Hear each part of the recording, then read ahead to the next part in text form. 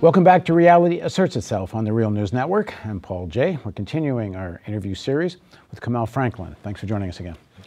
One more time, Kamau works with the American Friends Service Committee, which is a Quaker social justice organization, was involved with the Malcolm X grassroots movement and much more. And his whole bio is down below the video player here. So we're going to pick up on some another big question facing the movement today, which is the relationship between what's called movement building mm-hmm. and what's called having an electoral strategy or participating in elections. Mm-hmm. And there seems to be a kind of Chinese wall between the two things for a lot of people, mm-hmm. uh, which is uh, especially a lot of people who, in the movement building side, and I guess that means different things to different people, movement building, think mm-hmm. electoral strategy is a distraction. You can't really accomplish anything. And one way or the other, you wind up being assimilated into the Borg, the Borg being the Democratic Party. Mm-hmm. What's your take? I think they're mistaken. Um, just to be clear, I, I, I, think that you have to have an electoral strategy because uh, those resources matter. They matter to how communities function. When you think about the money that municipalities have, that counties have, that states have, if you just decide to not do anything in that arena, you are sacrificing probably 75% of the movement that you could potentially be building to someone else. If you don't think that uh, changing how people enact policies and how resources are distributed in a community, then I think you've made a huge mistake. And I think sometimes people don't want to get their hands dirty. Uh, and I, I think that sometimes people say, sort of from the outside looking in, that uh, any sort of attempt to build uh, particularly locally, and use the Democratic Party as something that you have to build within is some sellout, and that they have this imaginary, in my opinion, imaginary idea that you're going to just create a third party, uh, and then it's just going to be able to sort of take control or, or win people over and come to sort of some sort of fruition of, of winning power. And unfortunately, I don't think in America, the, I think the two parties are so established, and particularly on a local level, there are openings. And I think in Jackson, we proved in some ways that there were openings within a local democratic structure which doesn't necessarily take its, its orders from the national party. Local democratic structures uh, in the short term become viable places. Democratic Party Democratic structures. Party structures. So we're talking Jackson, Mississippi. Yeah. So quickly tell us what happened. Uh, well, in Jackson, you know, uh, we had to convince Chokwe at first to run for political office. He was he was uh, actually opposed to it. He didn't want to be involved in electoral politics. And he was a, he was a very prominent lawyer. Very prominent lawyer, advocate. He was the he was well known as a sort of a lawyer who would defend the defenseless. Uh, he was well known as an organizer who would take up causes that no one else wanted to take on. Uh, just in terms of spending time in Jackson, you could see how people would come up to Chokwe and whisper in his ear. It's like, I heard what you said on TV. I really support you and just would leave, and you would not you would not see them again. Uh, but I think when Chokwe ran for city council, our first thought was that we were going to be building sort of a. a I'm not sure we said it. This is Chokwe Lumumba. Chokwe Lumumba. I'm sorry. That we would be building a, a sort of apparatus to strengthen what we wanted to do in Jackson. That we didn't think we would necessarily win. Folks in Jackson, to their credit, I wasn't there at the time, actually put together a campaign strategy and plan that won that office. Uh, and later on, I think Chokwe got the bug to say, hey, I think there are things we can accomplish through this electoral strategy. And he, more than anybody, wanted to run for mayor. In the first six months uh, of the his mayor race, I was his campaign manager. In the last six months, I had left the organization because we just had differences of opinion around how resources should be spent and how other things should happen. But I think, in spite of that, that Chokwe Lumumba was going to win. He didn't need me to win the mayorship of Jackson, Mississippi. I think to our detriment or to the detriment of the organization, however, the organization wasn't prepared outside of this individual, important, charismatic person to sort of do other things in Jackson. So, and for those who haven't followed the story, Chokwe uh, died of a heart attack. Mm-hmm. How, how long into being and, mayor? Uh, eight months into being mayor, and in fact, uh, I think uh, a couple of days ago represented the year anniversary of his death.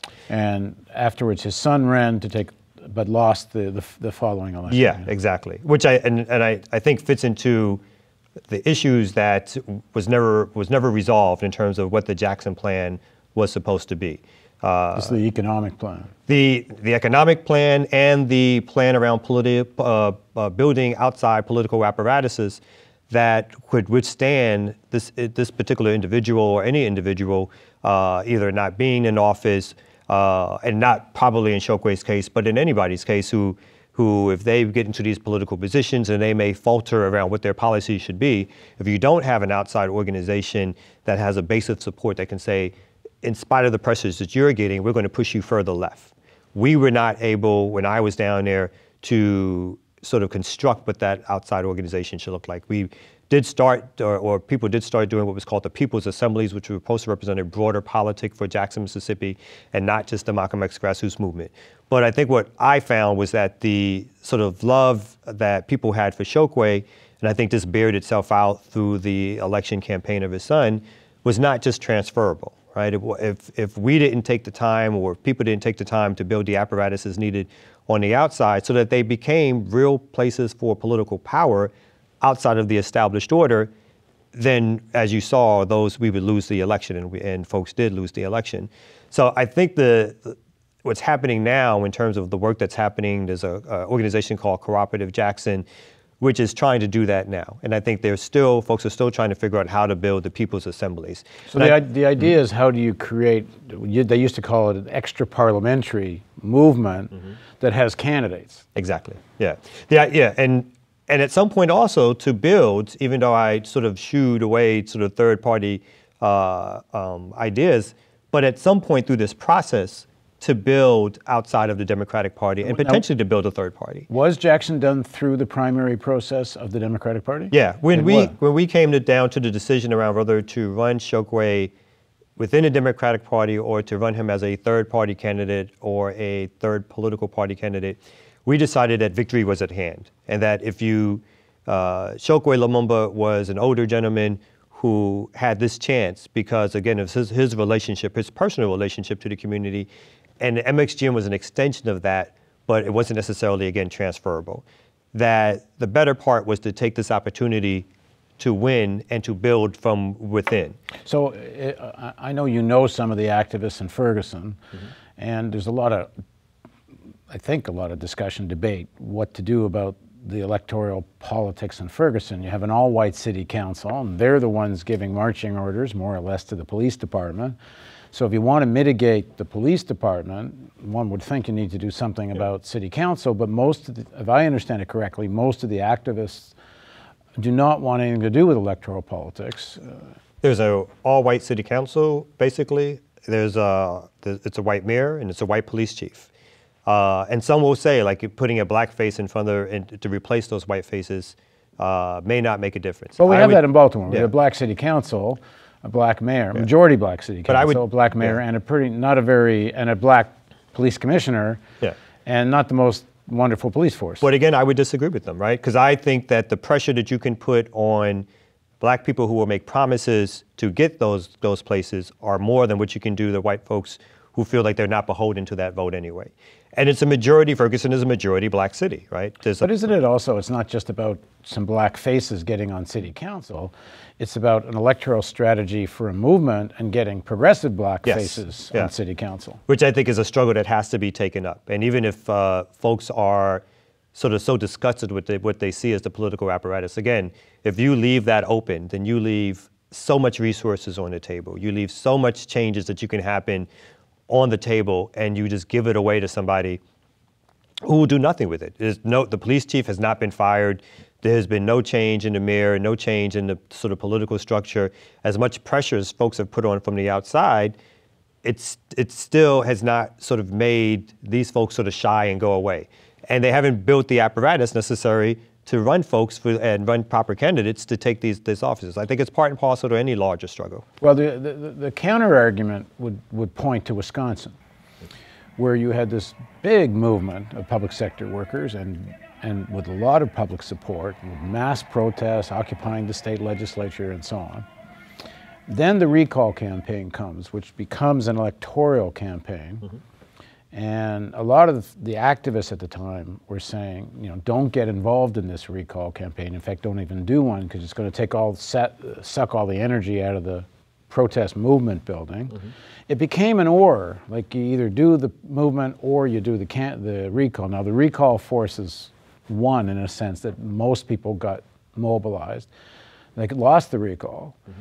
And they kind of lost the whole thing. They never got the protest movement back again, and now the unions have been kind of broken. And you know, the power of the unions in Wisconsin has been terribly undermined. But I think they were left with little choice. If they if they didn't do the recall, it, it wasn't as if uh, this this governor was going to fade away anyway. He had four years. He had the majority of Republicans on, on in the legislative seats. So that that was a fixture.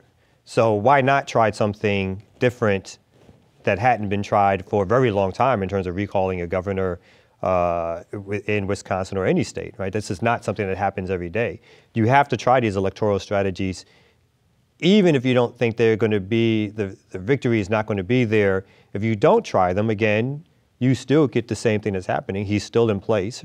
He's won another election, which well, speaks larger to the other discussion we were having around which way forward for the white working class, right? So he could not have continually won and had a majority Republican one without some change in the thinking and the, I guess, the aspirations of the white working class in Wisconsin. Well, and the other thing too is, uh, and I wasn't in Wisconsin, and maybe it just wasn't possible, but there needed, I think, to be a big fight with who's going to lead the recall campaign. Mm-hmm. If you're going to turn the recall electoral strategy over to the Democratic Party apparatchik, mm-hmm. Mm-hmm. then yeah, you're yeah. going to demol- you're going to wind up even if you win the recall, what exactly are you going to get? And mm-hmm. in the course of it, you're not going to have a movement left. Mm-hmm.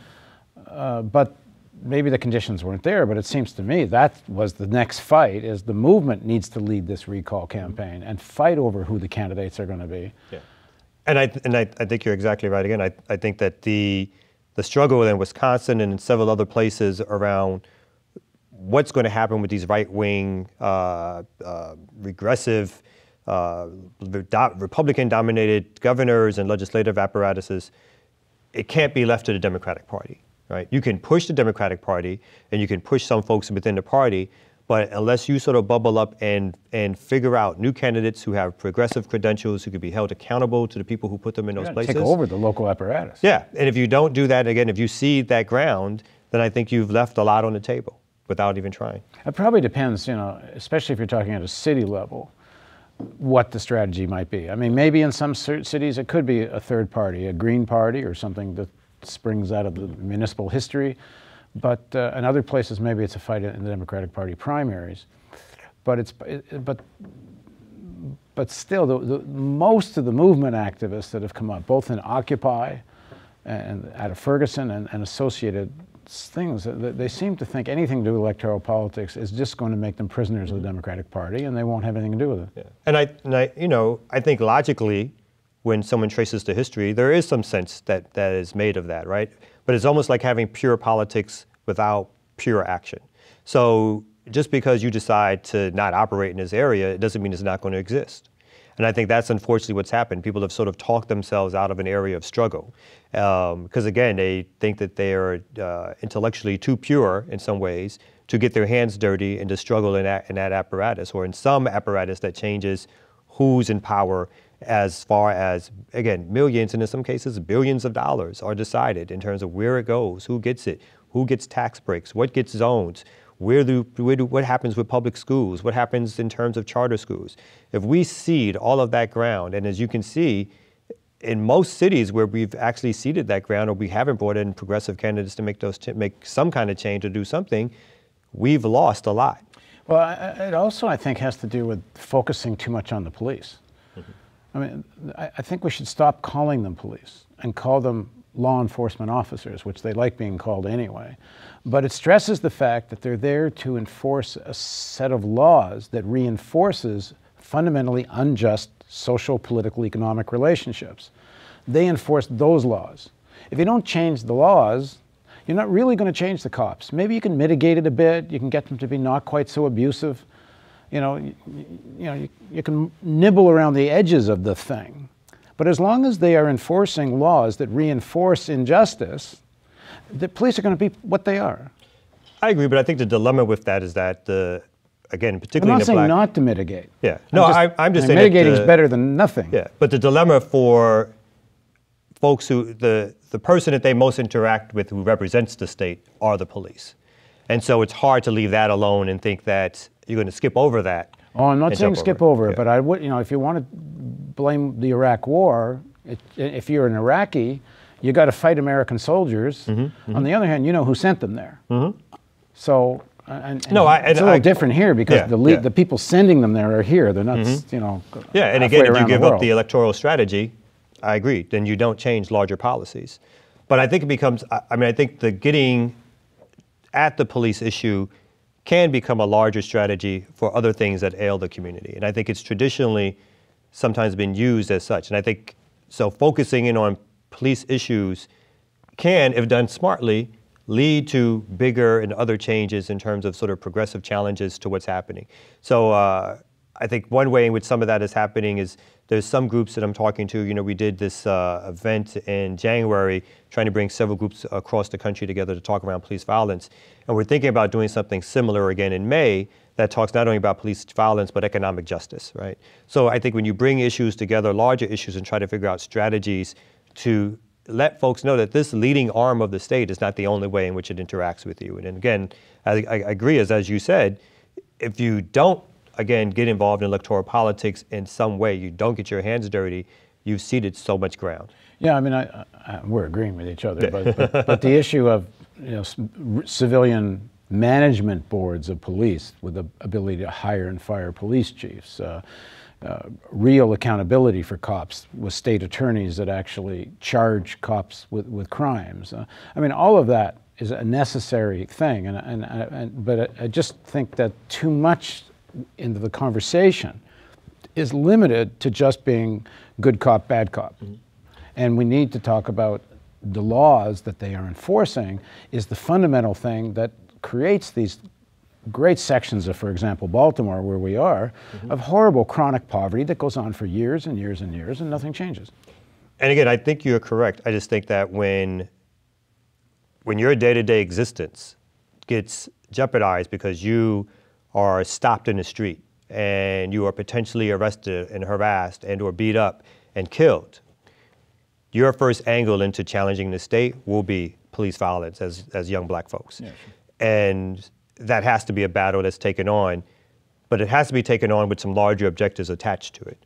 Because if you only want to change a police commissioner, right, then you're just left with a new face in, in charge of there.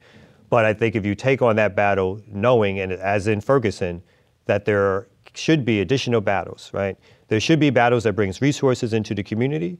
There should be battles that says resources which should be going to the community should be redirected towards the community. And that can only happen through some sort of electoral strategy. If you leave that, if you leave that alone, then those folks will always have that power over you.